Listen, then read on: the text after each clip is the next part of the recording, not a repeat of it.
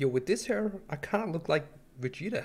Alright, enough of that shenanigans. What's up guys, it's your boy Mez, otherwise known as Man Like You. Another day, another fusion video, and today's suggestion is from Doug Artist, who wants to see Krillin and Gon from Hunter x Hunter. Now I don't quite know what that is, but I searched the guy and he, he seems really cool. They have the same build and stuff like that, but very different features in clothing, so there's some good stuff I can use. So yeah, it should be a good one. I'll leave a comment with a suggestion of what you want to see in the next video. And while we edit, make sure to drop a like on the video and subscribe if you haven't already, turn on notifications so don't miss an upload. But enough chit-chatting, let's get into the fusion.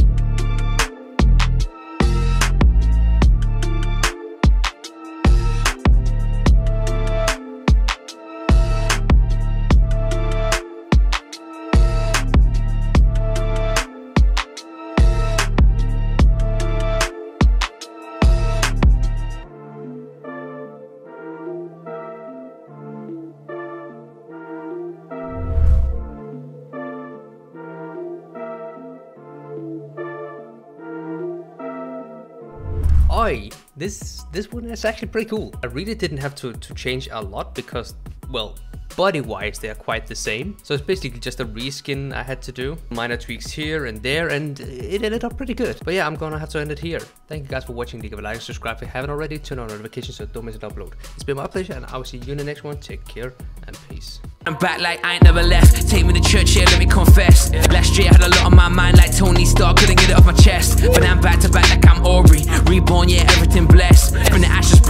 story. Show, don't tell, I'ma ace this test. Last year, 100k on the.